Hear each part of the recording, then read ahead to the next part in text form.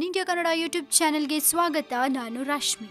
Friends ರಾತ್ರಿ ನೀವು ನಿದ್ದೆ ಮಾಡ್ತಾ ಇರ್ಬೇಕಾದ್ರೆ ಸಡನ್ ಆಗಿ ಏನೋ ಒಂದು ಕನ್ಸ್ ಬಿದ್ದೋ ಅಥವಾ ಯಾವ್ದೋ ಒಂದು ಸಿಚುಯೇಷನ್ ಅಲ್ಲಿ ಎಚ್ಚರ ಆಗಿದ್ದು ಉಂಟಾ. ಹಂಗೇನಾದ್ರೂ ಆಗಿದ್ರೆ ನೀವು ಭಯ ಪಟ್ಟಿದ್ದು ಉಂಟಾ. ಇನ್ನು ಕೆಲವ್ರಿಗೆ ನಿದ್ದೆ ಮಾಡ್ತಾ ಇರ್ಬೇಕಾದ್ರೆ ಯಾವ್ದೋ ಒಂದು ಕನಸೋ ಅಥವಾ ಏನೋ ಒಂದು ಫೀಲಿಂಗ್ ಅಲ್ಲಿ ಬಾಡಿ ಫುಲ್ ಟೈಟ್ ಆಗತ್ತೆ. ಹಾಗೆ ನೀವು ಕೈ ಕಾಲು ಎತ್ತಕ್ಕೂ ಆಗಲ್ಲ, ಇನ್ನು ನೀವು ಕೂಗ್ತಾ ಇದ್ರೆ ಪಕ್ಕದಲ್ಲಿರೋರ್ಗೂ ಕೇಳಿಸಲ್ಲ. ಇಂಥ ಒಂದು ಏನಾದ್ರೂ ಸಿಚುಯೇಷನ್ಸ್ ನೀವು ಫೇಸ್ ಮಾಡಿದಿರಾ ಇದನ್ನ ನಾನು ಯಾಕೆ ಹೇಳ್ತಾ ಇದ್ದೀನಿ ಅಂದ್ರೆ ದಿನಾನು ನೀವು ಒಂದೇ ಸಮಯದಲ್ಲಿ ಎಚ್ಚರವಾಗ್ತಾ ಇದ್ರೆ ನಿಜವಾಗ್ಲೂ ಹುಷಾರಾಗಿರ್ಬೇಕು. ಯಾಕೆ ಅಂತ ಹೇಳ್ತೀನಿ ಕೇಳಿಸ್ಕೊಡಿ. ಊಟ ತಿಂಡಿ ಅಷ್ಟೇ ಇಂಪಾರ್ಟೆಂಟ್ ಅಲ್ಲ, ಆದ್ರೆ ನಿದ್ದೆನೂ ಇಂಪಾರ್ಟೆಂಟ್ ನಿತ್ಯನೂ ಕಣ್ತುಂಬ ನಿದ್ದೆ ಮಾಡ್ತಾ ಇದ್ರೆ ಅದೆಷ್ಟೋ ಆರೋಗ್ಯ ಸಮಸ್ಯೆಗಳು ದೂರ ಉಳಿಯತ್ತೆ. ಅದೇ ನಿದ್ರಾಹೀನತೆ ಅಥವಾ ಮಲಗಿದ ನಂತರ ಪದೇ ಪದೇ ಎಚ್ಚರವಾಗೋದು ಒಂದು ಬಗೆಯ ಕಿರಿಕಿರಿಯನ್ನ ಉಂಟು ಮಾಡುತ್ತೆ. ರಾತ್ರಿ ನಿದ್ರಿಸುವಾಗ ಇದ್ದಕ್ಕಿದ್ದಂತೆ ಎಚ್ಚರವಾಗತ್ತೆ. ಅದು ಕೆಟ್ಟ ಕನಸಿನ ಮಹಿಮೆನ ಅಥವಾ ದುಃಖದ ಭಾವಕ್ಕೋ ಅನ್ನೋ ಅರಿವು ಯಾರಿಗೂ ಇರೋದಿಲ್ಲ. ಆಶ್ಚರ್ಯ ಅಂದ್ರೆ ಪ್ರತಿದಿನ ಒಂದೇ ಸಮಯಕ್ಕೆ ಎಚ್ಚರವಾಗೋದು, ನಂತರ ಮತ್ತೆ ನಿದ್ರೆಗೆ ಜಾರಲು ತುಸು ತೊಂದರೆ ಉಂಟಾಗೋದು. ಹೀಗ್ಯಾಕೆ? ಏನು? ಏನ್ ಸಮಸ್ಯೆ? ಇದು ತುಂಬಾ ಜನರಲ್ಲಿ ಕಾಡುತ್ತೆ. ಅಥವಾ ಹೀಗಾಗತ್ತೆ ಅನ್ನೋರ ಕಥೆಯನ್ನು ಕೂಡ ಕೇಳಿರ್ತೀರ. ಕಾರಣಗಳು ಏನು ಅನ್ನೋದನ್ನ ನಾನು ನಿಮ್ಗೆ ಸ್ವಲ್ಪ ಡೀಟೇಲ್ ಆಗಿ ಹೇಳ್ತೀನಿ. ಇದು ನೀವು ನೆನಪಿಡ್ಲೇಬೇಕು. ನಿದ್ರೆಯಲ್ಲಿ ಪದೇ ಪದೇ ಎಚ್ಚರವಾಗೋದು ಅಥವಾ ಪ್ರತಿದಿನ ಒಂದೇ ಸಮಯದಲ್ಲಿ ಎಚ್ಚೆತ್ಕೊಳ್ಳೋದು ಆತ್ಮದ ಮಹಿಮೆ. ಈ ಕ್ರಿಯೆಯ ಮೂಲಕ ಸಕಾರಾತ್ಮಕ ಆತ್ಮವು ಕಾಸ್ಮಿಕ್ ಶಕ್ತಿಯೊಂದಿಗೆ ಸಂವಹನ ನಡೆಸಲು ಪ್ರಯತ್ನಿಸ್ತಾ ಇದೆ ಅಂತ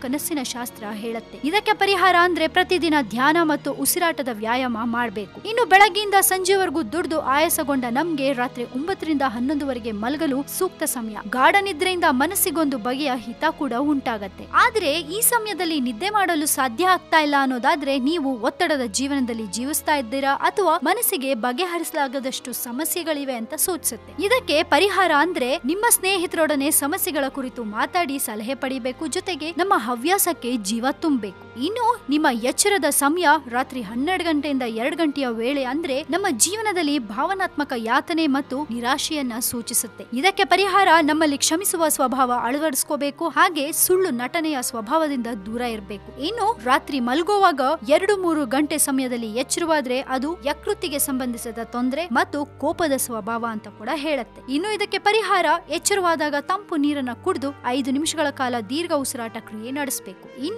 ರಾತ್ರಿ ನಿದ್ದೆ ಮಾಡಿದ ನಂತರ ಬೆಳಗ್ಗೆ ಐದರಿಂದ ಏಳು ಗಂಟೆಯ ಸಮಯಗಳಲ್ಲಿ ಎಚ್ಚರವಾಗ್ತಾ ಇದ್ರೆ ಹೆದರಿಕೆ ಹಾಗೂ ಆತ್ಮವಿಶ್ವಾಸದ ಕೊರತೆನೆ ಕಾರಣ ಅಂತ ಕೂಡ ಹೇಳಲಾಗುತ್ತೆ. ಇನ್ನು ಇದಕ್ಕೆ ಪರಿಹಾರ ಏನಪ್ಪಾ ಅಂದ್ರೆ ಭಾವನಾತ್ಮಕವಾಗಿ ಮತ್ತು ಮಾನಸಿಕವಾಗಿ ಪ್ರಬಲವಾಗಿರಬೇಕು. ಜೊತೆಗೆ ಸಾಮಾನ್ಯ ಯೋಗ ಕೂಡ ಕೈಗೊಳ್ಬೇಕು ಸೊ ಕೇಳಿದ್ರಲ್ಲ, ನಾನ್ ಹೇಳಿರೋದ್ರಲ್ಲಿ ಯಾವ್ದಾದ್ರೂ ಒಂದ್ ಘಟನೆ ನೀವು ಮಲ್ಗೋವಾಗ ನಡೆದಿದ್ಯಾ? ಹಾಗೆ ನೀವು ಮಲ್ಗಿದಾಗ ಎಷ್ಟ್ ಗಂಟೆಗೆ ಎಚ್ಚರ ಆಗತ್ತೆ? ಆಗ ನಿಮ್ ಫೀಲಿಂಗ್ ಏನಿರತ್ತೆ? ಅದನ್ನ ನಮ್ ಜೊತೆ ಹೇಳ್ಕೊಳ್ಳಿ. ಇನ್ನು ತುಂಬಾ ಜನ ರಾತ್ರಿ ಎರಡ್ ಗಂಟೆಯಿಂದ ಮೂರ್ ಗಂಟೆಗೆ ಎಚ್ಚರ ಆದ್ರೆ ಅಲ್ಲಿ ಆತ್ಮ ಇರತ್ತೆ, ಅದು ನಿಮ್ಮನ್ನ ನೋಡ್ತಾ ಇರತ್ತೆ, ಹಾಗೆ ನಿಮ್ಮನ್ನ ಅಬ್ಸರ್ವ್ ಮಾಡ್ತಾ ಇರತ್ತೆ ಅಂತ ಕೂಡ ಹೇಳ್ತಾರೆ. ಇಂಥ ಎಕ್ಸ್ಪೀರಿಯನ್ಸ್ ನಿಮ್ಗೆ ಯಾವತ್ತಾದ್ರೂ ಆಗಿದ್ಯಾ? ಹೌದು ಅನ್ನೋದಾದ್ರೆ ನಮ್ ಜೊತೆ ಶೇರ್ ಮಾಡ್ಕೊಳ್ಳಿ. ಹಾಗೆ ಇದೇ ರೀತಿಯ ಸುದ್ದಿಗಳಿಗೆ ನೀವು ಮರಿದೆ ಸಬ್ಸ್ಕ್ರೈಬ್ ಮಾಡಿ ನಮ್ಮ one India Kannada YouTube channel ಜೊತೆಗೆ ಈ ನಮ್ಮ ವಿಡಿಯೋ ನಿಮ್ಗೆ ಇಷ್ಟವಾದಲ್ಲಿ ದಯವಿಟ್ಟು ಶೇರ್ ಮಾಡಿ ಲೈಕ್ ಮಾಡಿ ಸಬ್ಸ್ಕ್ರೈಬ್ ಮಾಡೋದನ್ನ ಮರಿಬೇಡಿ. ಜೊತೆಗೆ ಕಾಮೆಂಟ್ ಮಾಡೋದನ್ನ ಮರಿಬೇಡಿ.